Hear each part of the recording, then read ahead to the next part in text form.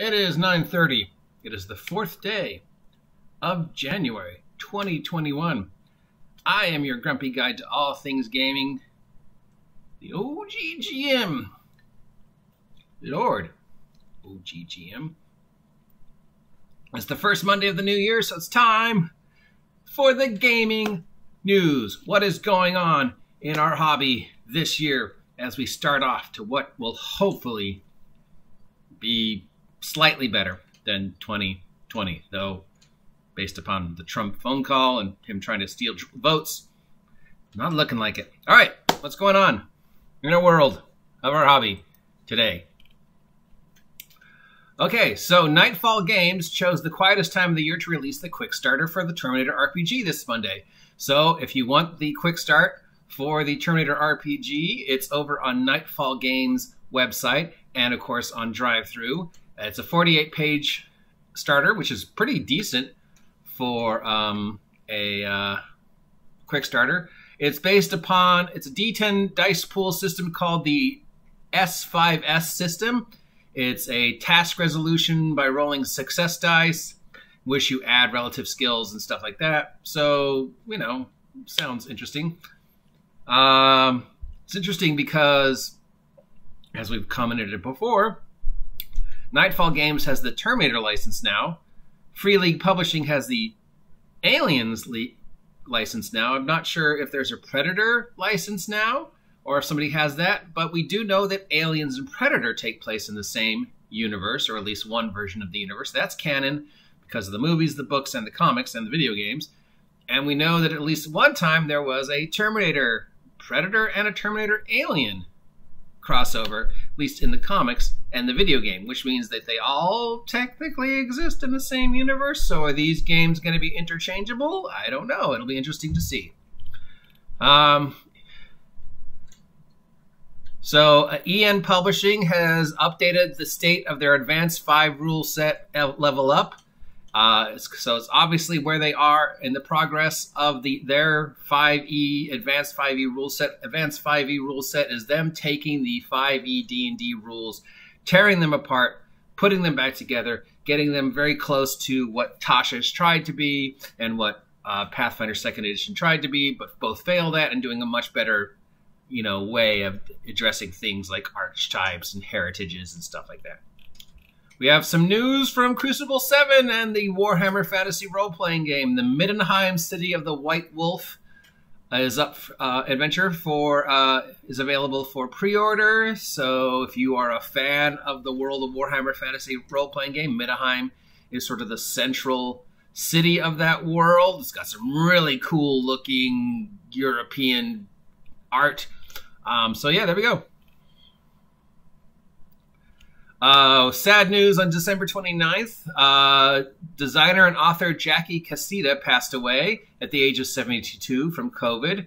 She was worked from the 1990s to the year 2000 in White Wolf lines, Changeling the Dreaming, Mage the Ascension, and some Ravenloft stuff. Uh, so a GoFundMe has been set up on behalf of Cassada's widow to assist with the medical bills and other expenses. Oh, there we go.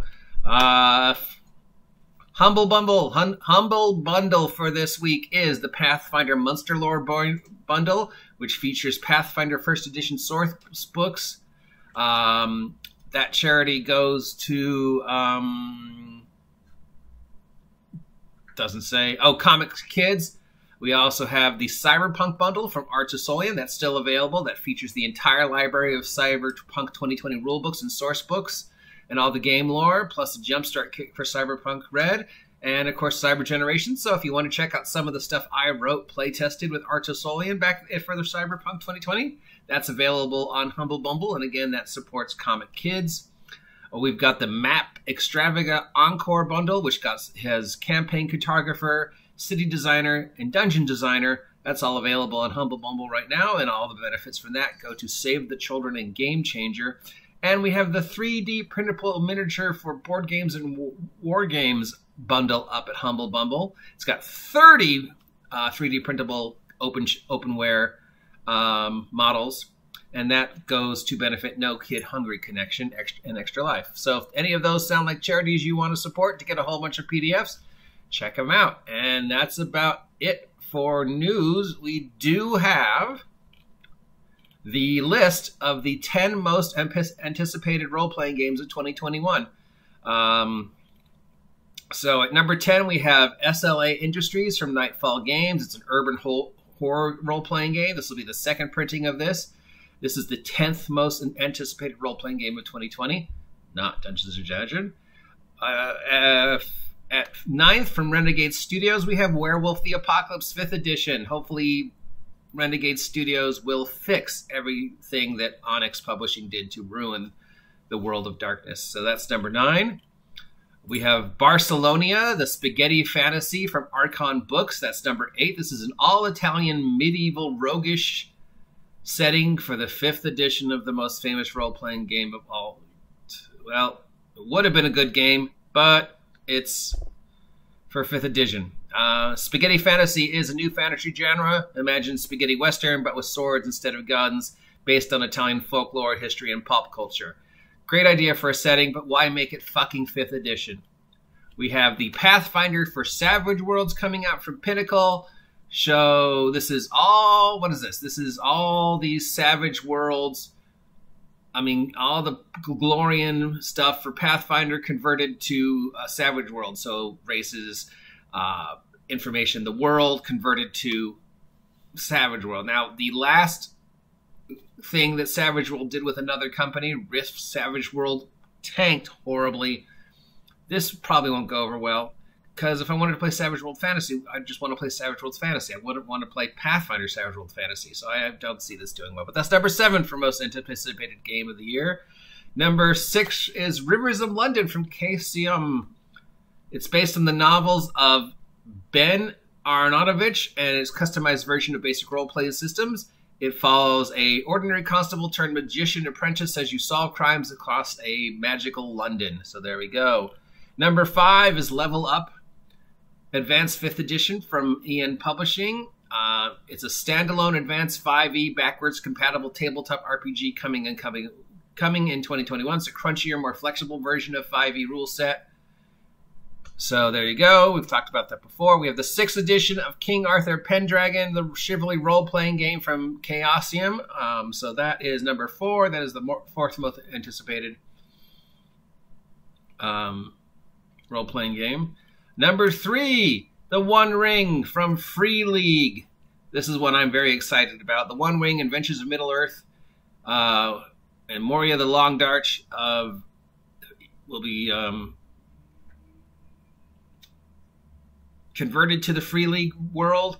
So I don't know if they're going to be using the Year Zero system or their own a different system, but it's nice to see that a company will be picking up the Lord of the Rings, the One Ring role playing game franchise because I think there should always be a most anticipated role playing game. Uh, that is Lord of the Rings.